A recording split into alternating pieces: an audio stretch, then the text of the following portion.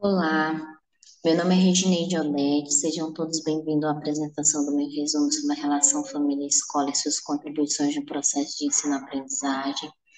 Gostaria primeiramente de agradecer a toda a equipe do Congresso Movimento Docente pela oportunidade a mim concedida de estar apresentando para vocês hoje este resumo, bem como todos que aqui estão presentes para acompanhar essa apresentação.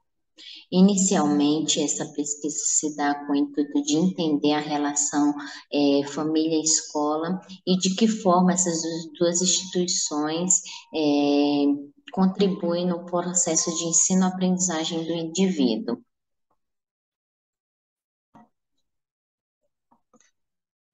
O objetivo dessa pesquisa é compreender a importância da relação família-escola, apontando suas contribuições no processo de ensino-aprendizagem do educando e as possíveis alternativas para favorecer essa relação. A metodologia utilizada é pesquisa será bibliográfica qualitativa, investigando em artigos que fundamentam o significado da parceria família-escola no desenvolvimento do educando. Para melhor compreender o tema é abordado.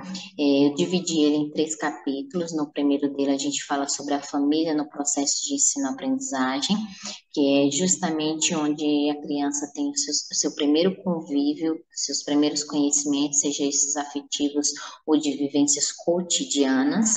É, posteriormente a isso, a gente entra com a família e escola, né? Porque a escola é o, é o segundo lugar onde a criança é inserida após o seio familiar. A função no processo de ensino-aprendizagem dessas duas instituições. E aí é nesse momento que a gente percebe é, que a, a, família educa e direciona, e a escola dá continuidade a esse papel de educar, é, escolarizando e preparando esse indivíduo para a sociedade. E aí percebe-se diretamente a relação de interdependência dessas duas instituições. É, e, consequentemente, é, as dificuldades apresentadas por elas. E reforça-se aí a importância do diálogo que precisa existir entre essas duas instituições para que sejam traçadas linhas de resolução a essas dificuldades que são apresentadas no decorrer do processo de ensino-aprendizagem do indivíduo.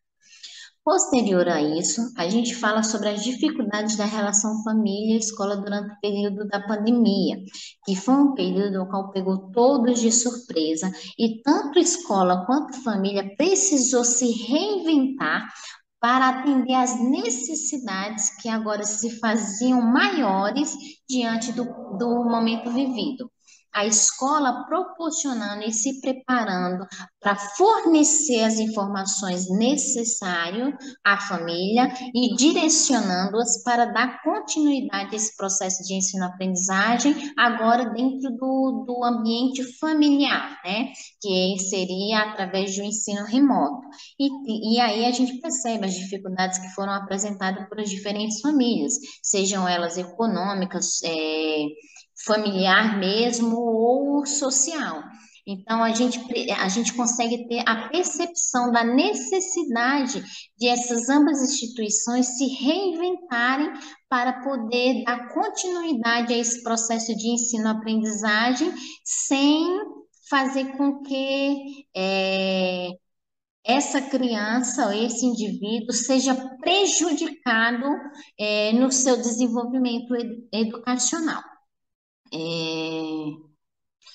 Contudo, é, essa pesquisa ela nos abre um, um leque de caminhos para a gente ir além do que podemos imaginar porque existe diariamente um processo de transformação, é, tanto da escola quanto da família, e sempre será preciso se reinventar para atender de forma progressista essas necessidades que vão surgindo no decorrer da vida é, deste indivíduo, né? Então, como sendo família e e escola é essencial para a formação de todos, né? É, elas precisam dar conjunta, andar ligadas. Por isso que a gente fala dessa relação de interdependência de ambas as instituições. E dentro desse período pandêmico, que a gente sabe que ainda vai é, gerar no futuro um impacto muito grande, assim como está gerando atualmente, é, a gente já vê reflexos disso no, dentro do ambiente escolar e familiar também. É, a gente vê mais ainda o reforço dessa necessidade dessas, dessas duas instituições se unirem para poder continuar contribuindo de forma progressista para o desenvolvimento e crescimento e formação desses indivíduos. É, aqui tem algumas das minhas referências bibliográficas, é, material levantado que nos, nos, proporciona conhecimentos diferenciados sobre os temas abordados.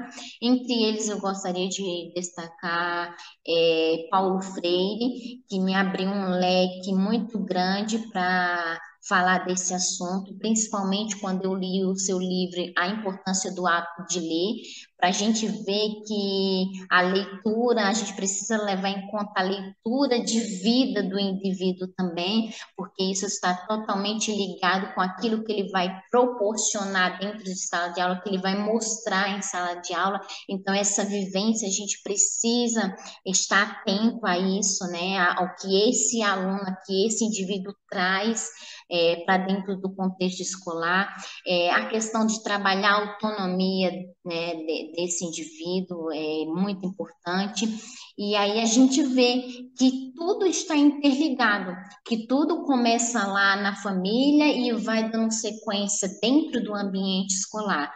Então, eu, eu reforço aí é, é a importância que foi ler esse autor para o desenvolvimento deste trabalho. Eu agradeço a todos é, e até a próxima.